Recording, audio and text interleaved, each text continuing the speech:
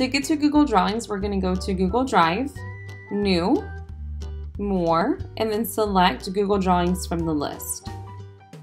Once we're here, we're going to say create and share. We're going to title our drawing. Just going to call it sample. This is going to be your canvas to be able to work in. You're really going to be using the tools here across the top. So if you want to add lines, you have several options for the type of lines you want to add. You could even just scribble a line across your page. You can add several shapes. I'm just going to select one to show you how to insert it.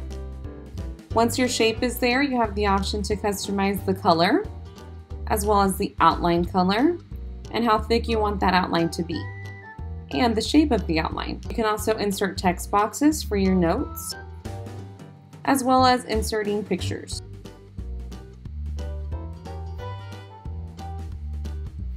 A very neat feature about Google Drawings is that anything that you put in your white space here can be hyperlinked. So even if I want to hyperlink this line and have it go to a specific website or another Google app, select the image that you want hyperlinked, go to Insert and select Link, and then paste your link right into that box.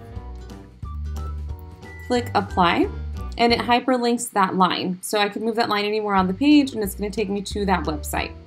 You can export Google Drawings as PDFs, JPEGs, PNGs, or SVGs. Students can also collaborate by sharing this document like we do on Google Docs or Google Slides and collaborate with other classmates all at the same time on one drawing board.